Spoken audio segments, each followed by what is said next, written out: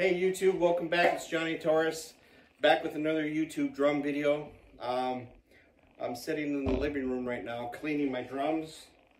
Uh, I got a gig today. It's Saturday the 18th, and uh, we got a uh, a private private party today that we are going to be doing uh, here pretty soon. So I just wanted to get get with you and talk a little bit about uh, the gigs that I do. Um, here in the Midwest.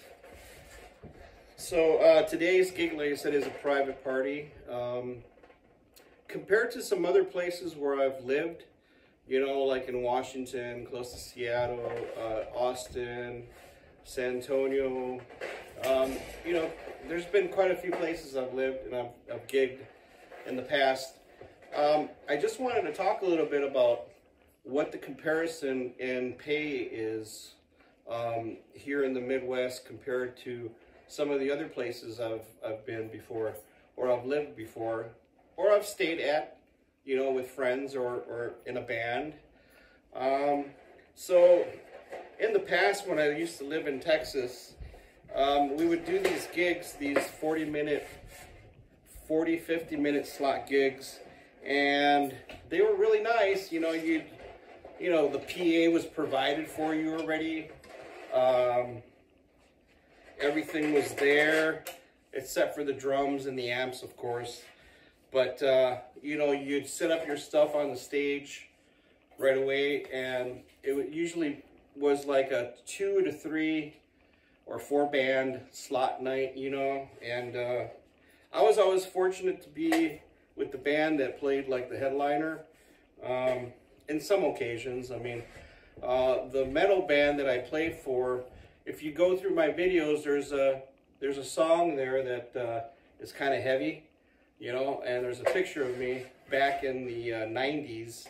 When I played with that band, that band was pretty popular, and we opened up for a lot of lot of bigger bigger acts like uh, Obituary, Death, and when Pantera, you know, they used to have their uh, their knockoff side gig where they wanted to just play in a smaller club.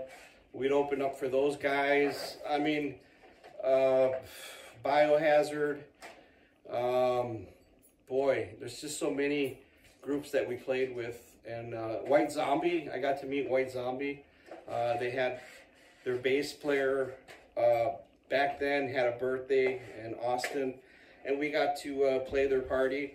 So that was a blast. Um, I've been fortunate to meet a lot of great bands and players. So um, the only difference between between those places, like in uh, San Antonio, uh, Austin, uh, Washington State, you know, you'd have to you'd have to uh, go out and and promote your your gig and pass out tickets. You know, and every ticket that would come back to the establishment, some of these places would have give you tickets.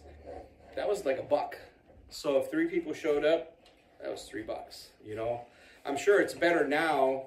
Um, I hear in Nashville it's it's better now. It's at least fifty bucks for some some bands, but here in the Midwest, man, we're like um, we're like doing four sets uh, a gig. You know, like something like from nine to one in the morning 8 to midnight, 6 to 6 p.m. to 10. And uh, some of these gigs play good. It just depends what type of band you're in. If you're just starting out, you know, you're going to make a couple bucks. You know, you're going to make maybe 50 bucks, maybe maybe 80 bucks. Uh, some of these other bands that play around in the in the bars, in the smaller bars here, they're each making about a hundred bucks, you know. And if you can get into like one of these bigger bands, um, like I have a couple of friends that play in uh, these summer bands, and in the band I play with right now, uh, you know, if you can, uh, if you can get into a bigger band once you uh, market yourself and and kind of get yourself out there and start start playing with other people, you can start making quite a bit of money. Some of these bands make really good money. So uh, it just depends. You know, it's it's once you get to a certain level, you know, you're not making 50 bucks anymore. you're making uh, maybe three times that or, or four times that in a bigger bigger summer group where you're playing, you know, festivals, uh, weddings, parties, all that stuff. So the Midwest has been pretty good to me. And uh, compared to like when I played in Austin back then in the 90s, it was, I was walking away maybe with, with 10 bucks, 15 bucks, even in blues bands. When we play like at uh, the Steamboat, everybody knows that one, Antone's. Uh, there was a little bar in Austin that I used to love. It was a small, small place, but such a such great talent there. A lot of great blues bands. It was called Joe's Generic. I don't know if anybody remembers that, but uh, so many good players there. And you know that place too was maybe like 50 bucks a night or or less. So just depends. Here, here I've, I've been fortunate to uh, to play with good people, um, good bands, and I had to work at it. You know, I had to work my way up. I started from nowhere. Like I started from a regular blues band, and uh, here in the Midwest, and I had to work my way up. I had to market myself. I had to uh, talk to people and go to open jams and meet people and and and just hang out. You know, be be honest and and uh, be modest. You know, and uh, yeah, you can make some really good money. So today, I'm going to take you to that gig, uh, to this private party. I don't know what to expect yet, but uh, should be a good time, man. We're going to have fun, and uh, yeah, and we'll see you there once we get there. All right, so we are here at this private party now. Looks like we're playing outside.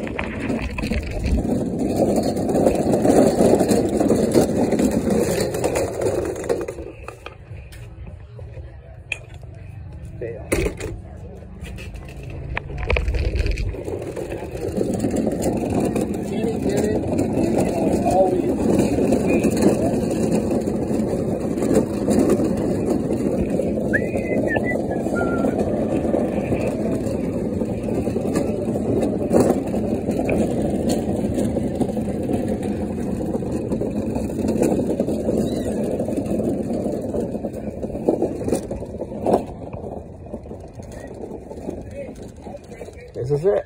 Set up for the day. All right, I'm all set up here. All ready to go.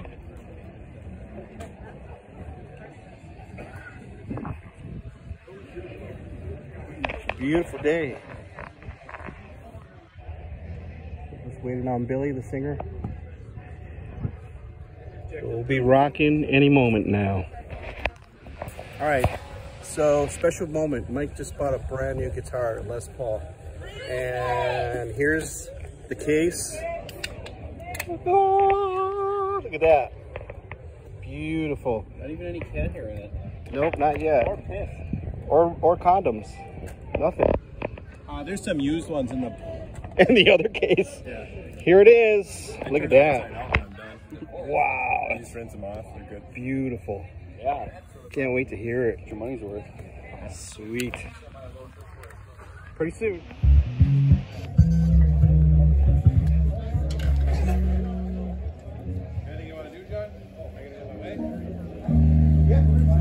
Check two, one, two.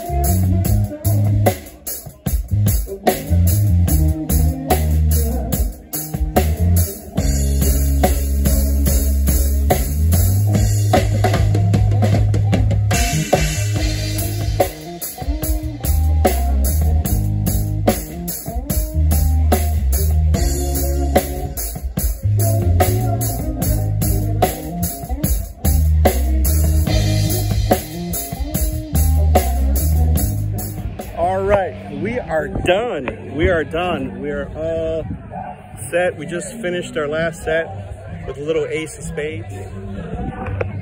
As you can see, there's some people still coming, still coming in.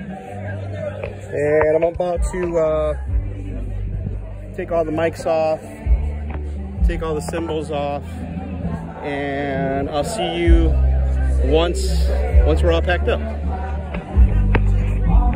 Oh yeah, this gig here is really nice because it's like a private party for a retirement and they have food for you. They have, uh, you know, drinks, whatever, water. Uh, and it's really nice out today. So great gig. All right, guys. Thanks for uh, tagging on to this gig. Like I said, uh, it was a good gig today. Stuff like this, like private parties pay very, very good if you're in a if you're in a good band, you know, uh, it could pay very, very good. Um, like I said, some of these gigs, you got to play four hours. Um, it's not as bad as people think it is. So it's all good. But uh, yeah, I just wanted to uh, uh, touch base with you one more time and thank you for tagging along. And if you like this kind of stuff, thank you very much and for your support. My name is Johnny Torres and we'll do uh, we'll do another video. I'm not sure what yet, but we'll keep it rolling. All right. So thank you once again. Like and subscribe if you like this stuff. Keep on rocking, man. See ya.